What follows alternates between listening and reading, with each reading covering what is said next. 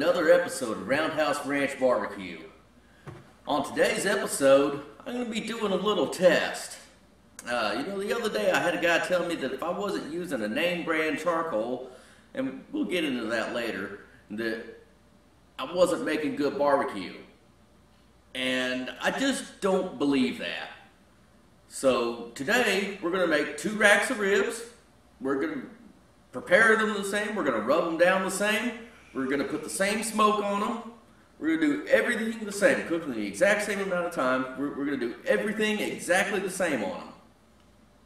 Except, for one, I'll be using a bag of regular original Kingsford, and on the other one, I'll be using regular old Brookshire's brand. And we're going to see if there really is a difference. So y'all come along, and we'll see if we can't get this figured out once and for all. Okay, so for our first rack of baby back ribs, and like I said, we're going to do both of them exactly the same. Uh, I've got this rack of baby back ribs that I bought at the local meat market uh, in Decatur. And we're going to do them the, the, normal way. I've already peeled the membrane off. I've showed you guys how to do that often enough. If you, if you still don't know how to do it, go back and watch one of my earlier videos uh, on how to do ribs, and I'll show you that I'll show you in those videos how to pull that membrane off. It's actually really simple and really easy. Uh, so we're just going to take a little bit of mustard. Just a little bit down there, just, just a binder. It doesn't add flavor or anything to it. It might help a little bit with the color of them. I don't know. Uh, my buddy uh, Hobo Chris over at uh, Hobo Nickel Barbecue, he's got a video out demonstrating different types of binders you can use and if there's any perceivable differences between them and all that. So y'all go check him out. I'll put a link to his descrip uh, I'll put a link to his channel in the description. Uh, but yeah, we're just gonna put a little bit of mustard on there to act as a binder. Then I I got some uh, Wright Barbecue Company Wright Rub that we're gonna season these up with. This leaves a this makes an awesome color on the ribs once they're cooked. It's got great flavor to it. Uh, I'm not getting paid by them or anything like that. I, I don't get it for free. I just have I enjoy the uh, enjoy the rub, so I figured I'd tell you guys about it. And this is the bone side, so we're just to lightly season the bo the uh, bottom bone side of it. We're to go ahead and flip it on over. And you can see this is uh, it's all natural pork and it's a better quality than you would normally get it just like your Hormel at your grocery store. Uh, you can see there's a whole lot more actual meat on them than you would normally find, and less fat, eh, which I think is going to be delicious. So we're going to give it a shot. And we're going to sprinkle this liberally over it. You guys know how to do it. I've showed you before. Alright, that's it. These ribs are seasoned up and ready to go. We're going to go get our fire started, let these sit for a little bit, kind of sweat, absorb some of that seasoning. And uh, we'll come back once that fire started and we get these ribs put on. Alright. Here we are. We've gone, we got about three hours into the smoke on these ribs. I'm going to go ahead and wrap them up. And what I've done is I've just got some I got some uh, butter and some honey. I'm going to spritz some apple juice down on there and then we're going to wrap them up real tight and then put them back on. Alright. Alright. Then we're going to take then we're going to take these ribs they're wrapped up nice and tight. We're going to go put them back on the smoker for about another hour and a half, two hours. Y'all stick around. Alright, so here we are. We got the ribs. They're done now. Uh, Took a lot longer than I expected with the uh, store brand charcoal and I used a lot more of the charcoal than I expected I would. Uh, ended up using almost a full bag of charcoal, which is not what I expected at all. Uh, but they're done and they look and smell delicious. Let's go ahead and cut into these here. Oh yeah, there we go. There you go. See, there's there's the ribs. You got some decent pullback off of the bone. Right there you can see some decent pullback. Uh, I've let them rest for a little bit, so go, go ahead and slice on them. And uh, let's see what we got. Let's take a bite.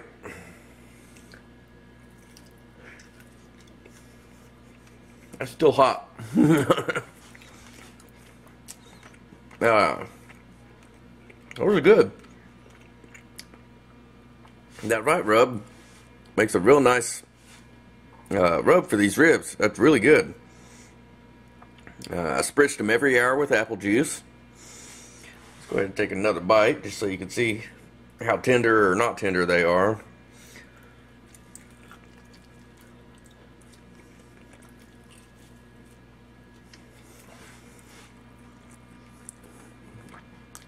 Nice clean bite to the bone.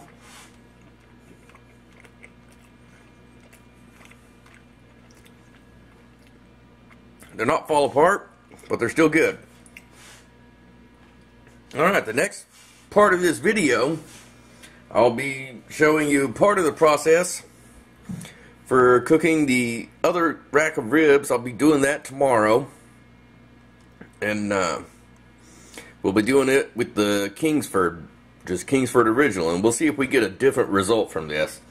Uh, I was skeptical at first, but something tells me we might. All right, y'all, y'all sit tight, and I'll, I'll show you that here in a bit.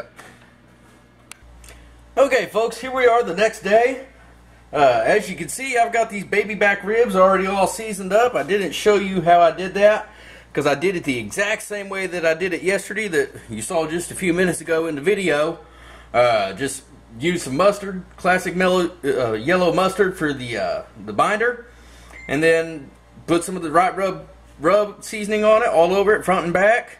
Rubbed it on there. It's been sitting in here getting nice and tacky.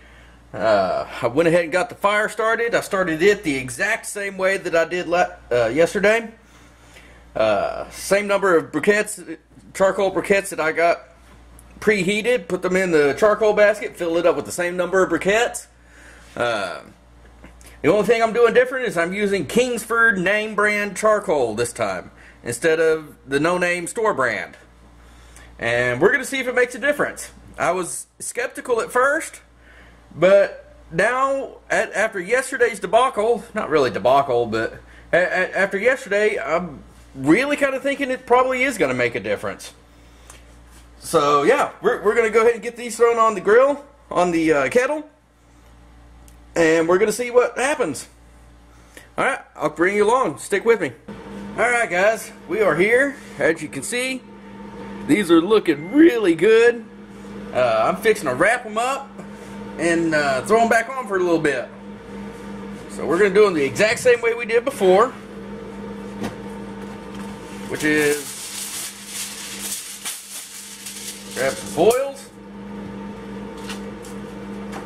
Need to move these up out of my way.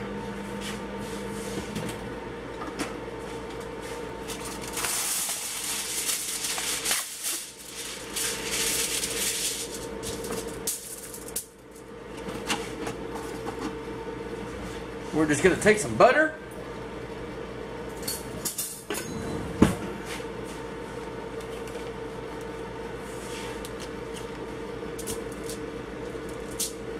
We're just going to throw some butter down in the middle. Just like we did before.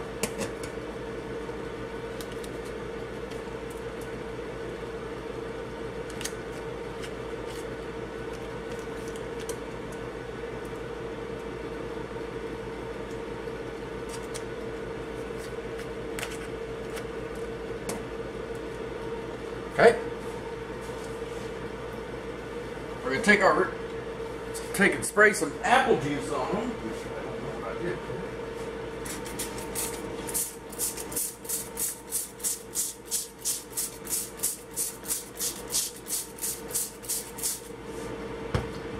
And we're just going to set our ribs on there. Sure. Flip them upside down. Spray our ribs.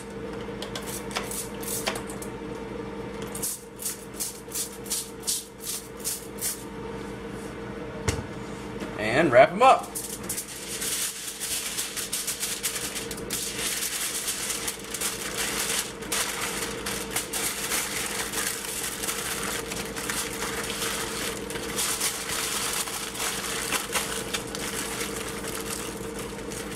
And we're going to go take and put them back out on the smoker. Alright, so here we are. Uh, the test is complete. I have done both sets of ribs uh, using regular Kingsford charcoal and using uh, uh, regular old store bought store brand charcoal and have come to some definite conclusions. We'll talk about those in a second, but first, let's go ahead and cut these ribs and give a sample. Let's see, we'll cut right along here. You can see already those are quite a bit more tender than the other ones were.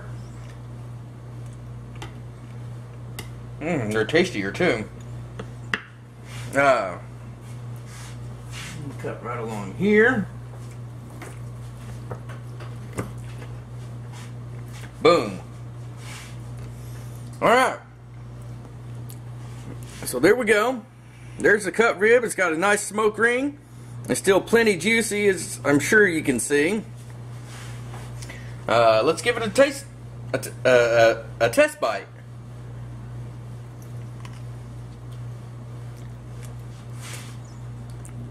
Clean bite, right to the bone. These are not pull off the bone tender, but they are definitely more tender than the other ones. And uh, the amazing thing is, I did them in almost half the time. These were right at three hours to cook. Uh, I also used only a half a bag of charcoal. Uh, on, on the other ones with the store-bought brand charcoal, I used a full bag and still could have probably used more to get a, a better cook. Uh, see what else? Oh yeah, the uh, the name brand charcoal actually lit faster and got up to a hotter temp and maintained that temp way better than the store brand did. Uh, so yeah, my conclusions are, and I'm really quite shocked to say this, it does make a difference. Yes, you can do it with store brand charcoal.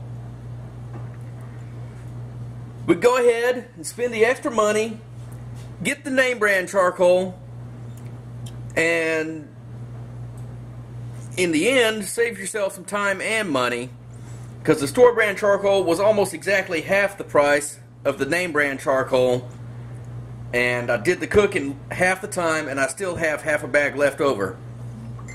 So there you go. Alright y'all, I'm to enjoy these ribs. Uh, we'll see you next time on Roundhouse Ranch Barbecue.